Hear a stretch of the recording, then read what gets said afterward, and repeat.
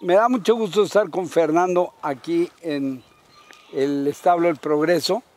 Fernando, antes que nada saludarte, qué bueno que inicies el 2024 y agradecerte porque tu programa fue de los más vistos que tuvimos en Campo de México. ¿eh? No, pues un, un, honor para mí tenerlos otra vez aquí ya. Digo, cada vez eh, pues nos vamos enfrentando a nuevos retos y tenemos que, que saberlos sortear. Aquí estamos ya este 2024 a lo que disponibles a lo que nos venga.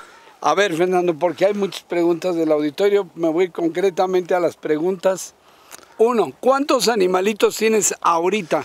¿Cuántas vacas productivas y cuántos animales en total? Ahorita son 20 vacas productoras, Ajá. produciendo leche tal cual, tres vacas en periodo seco, ocho novillas y vaquillas gestantes o por gestarse y cinco o seis becerritas eh, lactando. ¿En cuánta extensión de terreno? En dos hectáreas. En dos hectáreas. En dos hectáreas. O sea, todavía la otra hectárea que ibas a habilitar todavía no está, no, no ya, ya está habilitada, ya, ya está, está, ya está funcionando. Obviamente, como, como inició a destiempo con esta hectárea que ya lleva más trabajo en lo regenerativo, hemos tenido eh, diferentes resultados porque van por decir, en, en, esta ya llevamos 5 o 6 años trabajando. En esta, cuando me dicen estas, son en las dos hectáreas. No, son dos hectáreas en total. Ah, en un, total. Ajá, una hectárea ya trabajada y una hectárea recientemente lleva un año trabajándose. Si hacemos el comparativo con hace un año que estuvimos a hoy, ¿cómo vas? Pues yo, yo digo que vamos eh, bien, porque hemos sabido sortear eh, muchas dificultades que nos dejó el 2023, que fueron sequías, Ajá. que fueron muchas enfermedades habidas y por haber por el tema del clima, se nos presentaron varios inconvenientes que, que a, la, a, la, vez venían de, de, dos o tres cuestiones, pero nos, nos perjudicaban. Eso ha sido una queja general uh -huh. en casi todos los establos, que hubo muchas sí, enfermedades. Sí, sí, hubo, estábamos, obvia, obviamente, eh, se nos venían oleadas de calor, después de la oleada sí. de calor se venían acidosis, se, estábamos, ahora sí que no sabíamos por dónde nos iba a llegar el plomazo, pero pero estábamos a, a, atentos. Obviamente fue un año muy reseco. Aquí usualmente estuvimos midiendo las tormentas. Nos cayeron 280 milímetros en todo el año. Obviamente eh, pues fueron bendiciones porque en otros lugares estuvieron peor. Peor, claro. Pero aquí estamos acostumbrados a sobre los 1800, claro, 1200 claro. milímetros. Entonces, donde no nos cayó ni una tercera parte, pues que teníamos ganas de llorar.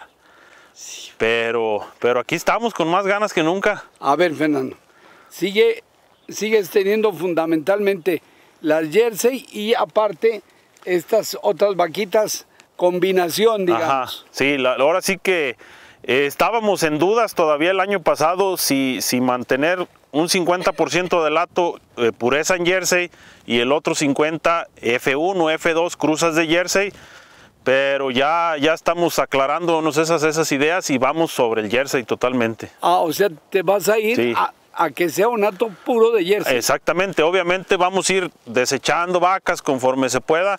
Tengo vacas F1 y F2 muy buenas, sí. pero pues ahora sí que la idea es pureza. Producción actual, ¿Cuántos litros? Ahorita estamos produciendo sobre 400 litros diarios. Eh, por ahí estamos sobre 22, 21 litros, 23 litros. Correcto. Ahorita en lo que se nos estabiliza el clima estamos un poquito itinerantes, pero andamos sobre 22, 23 litros. ¿Se sigue comprando Danone? Sí, sí, seguimos con Danone actualmente. Los costos, ¿cómo se elevaron? Estábamos hace dos años en 3.80, luego pasamos a 4.20. ¿Hoy cómo estamos? Al mes pasado, el, el mes de diciembre, lo cerramos sobre 5.30 el costo de producción. Fíjese, es bien importante cómo se lo estoy dando por los tiempos para que lo tenga claro. 5.30. Ajá, el costo total de producción, ya sea ahí incluyendo gasolinas, incluyendo luz, agua, todo. Eh, ese fue el costo total. El costo por alimentación andamos sobre los 380, 370, sí. el costo eh, que sea por alimentación nada más. Ah. Y digo, pues estamos. Aún con la temporada tan difícil que se sí. tuvo de alimentación. Sí, sí, sí. Sí, el, el, digo, en comparación hace, hace dos años, la primera visita, el primer video que, que grabamos, eh, teníamos producciones de pasto, que eso nos lo refleja el, el clima, producciones de pasto cosechábamos hasta 22 kilos por vaca por día. de producción de pasto en la misma Claro. zona, aquí. ¿Y ahora? Este año lo máximo que llegamos a producir, creo que anduvimos sobre 13, 14 kilos de pasto. Híjole, o sea, es la mitad. Sí, la mitad. Y entonces tienes que suplir los alimentos con Estar alimento que compras, Ajá. ahí sube el costo. Ahí tenemos que estar balanceando necesidades del animal contra requerimientos, contra oportunidades forrajeras y a la par tener que sobrellevar un costo que no nos rebase, que no nos, reba- que no nos lleve. Ahora empiezas un nuevo, pues ahora sí que un nuevo emprendimiento.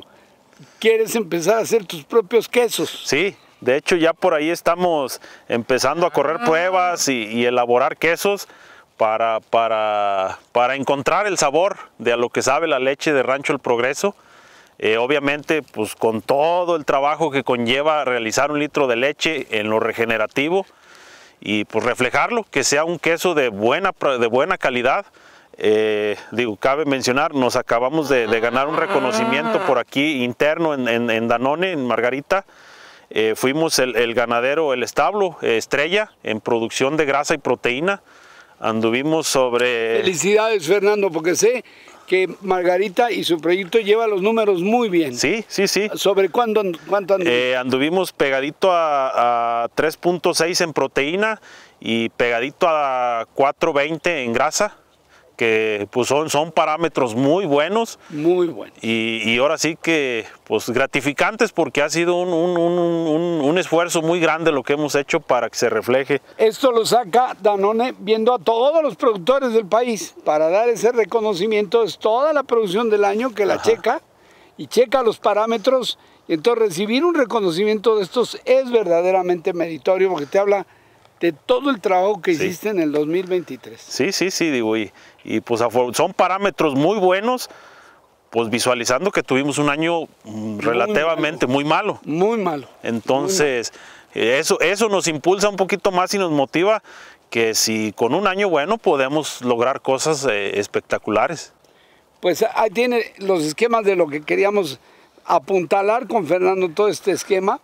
Y bueno, ahora me sorprende lo que me dices, migrar totalmente a la Jersey, un poco lo que está haciendo Rancho La Hondonada y Flor de Alfalfa allá en Querétaro. Puro Jersey. Sí, eh, migrar todo el hato al jersey, porque ahora sí que cada día que pasa nos enamoramos más de la raza y le vemos más las positivas que las negativas. ¿Por qué tú le ves tantas positivas si la mayor parte de los lecheros de los altos no les gusta? Pues ahora sí que porque Que digo, porque son nerviosas, que porque producen poco, que por- no les gusta.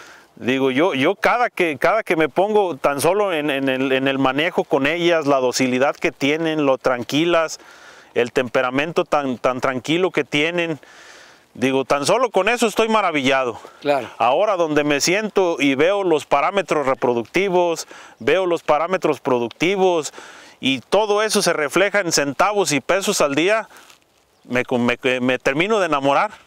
Sigue siendo productivo, Sí. como Al- lo platicamos hace tres años. Al día de hoy, digo, en base a todos los inconvenientes que hemos tenido, seguimos sobre, sobre esa, esa cuestión de ser lo más productivos posibles. Eh, estamos tratando de, ahora sí que de cada centímetro cuadrado que tenemos, potencializarlo. Estamos con, con huevo de, de- de libre pastoreo, produciendo huevo. Eh, pues no totalmente orgánico, pero poco le falta para que sea totalmente orgánico. Y pues todo con los principales, eh, con lo principal, la base.